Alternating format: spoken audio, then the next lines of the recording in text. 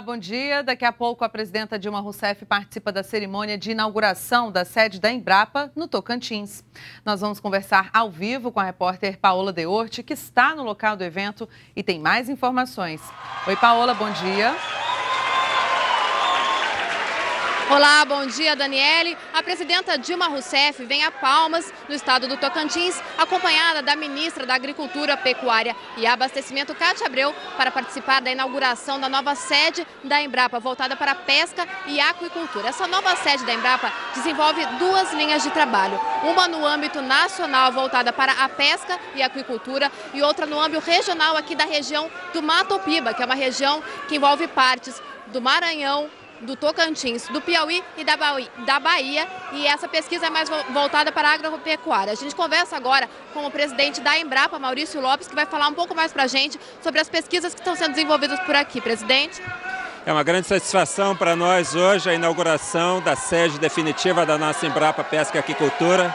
O Brasil tem um potencial gigantesco para o desenvolvimento da aquicultura nas suas águas interiores nós temos 12% das reservas de água doce no mundo e um potencial enorme, espécies brasileiras que podem ser desenvolvidas para a produção de pescado. O Brasil pode se tornar um grande produtor e exportador de pescado para todo mundo.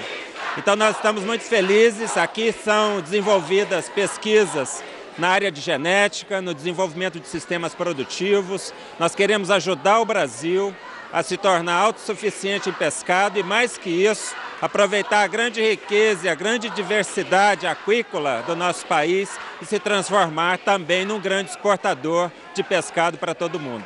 Presidente, com relação ao entreposto móvel, você pode explicar para a gente o que, que é? Essa é uma inovação que a Embrapa está desenvolvendo.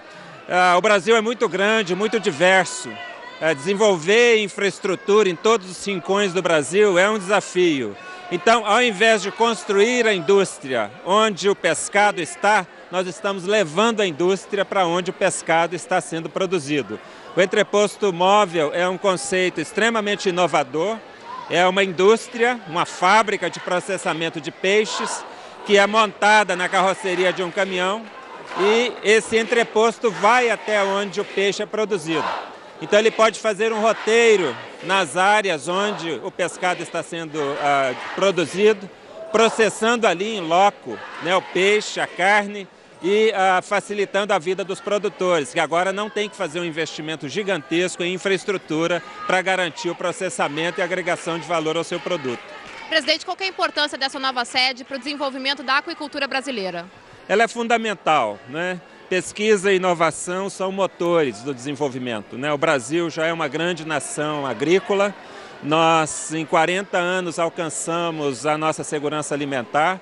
Mais que isso, nós fomos capazes de projetar o Brasil como um grande provedor de alimentos para o mundo. Hoje nós somos grandes exportadores de alimentos. Agora o Brasil tem que aproveitar a sua riqueza né, de águas interiores. O Brasil é muito rico em águas é muito rico em diversidade biológica. Nós temos espécies que são muito próprias é, do Brasil. Então, esta unidade dará oportunidade ao Brasil de, usando ciência, a melhor ciência disponível, transformar essa riqueza brasileira em progresso e melhoria de qualidade de vida para os nossos produtores e para a sociedade brasileira. Muito obrigada, presidente. E nós aqui da TV NBR continuamos aguardando a chegada da presidenta Dilma Rousseff. O evento deve começar aí por volta das 11 horas. Daniele. Obrigada, Paulo, pelas suas informações ao vivo aí de Palmas, no, no Tocantins. E nessa semana, durante a cerimônia de lançamento do Plano Agrícola e Pecuário 2016-2017, a presidenta Dilma Rousseff falou sobre a importância da Embrapa para o país e também anunciou novidades na empresa brasileira de pesquisa agropecuária. E quando nós falamos de desenvolvimento tecnológico e inovação, nós chegamos à Embrapa, uma das mais significativas realizações que o Brasil, ao longo dos anos, conseguiu construir e, mais do que isso, cons conseguiu aliar aos produtores, ao clima, e isso é que move a nossa agricultura.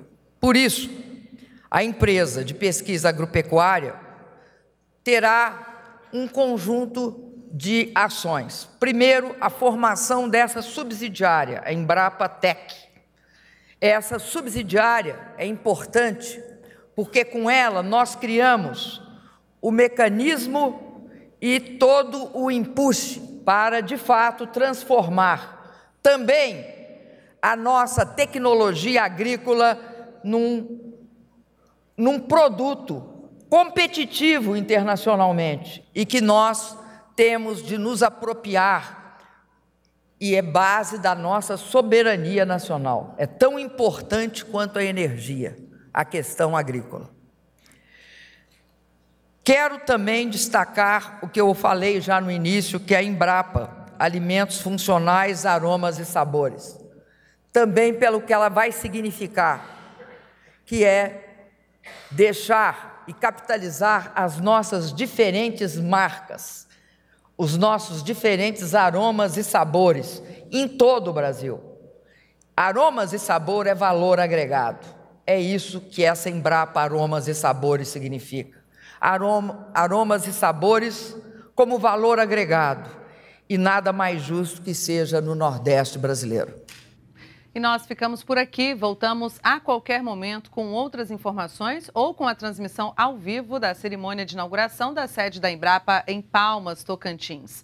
Continue com a gente na NBR, a TV do Governo Federal.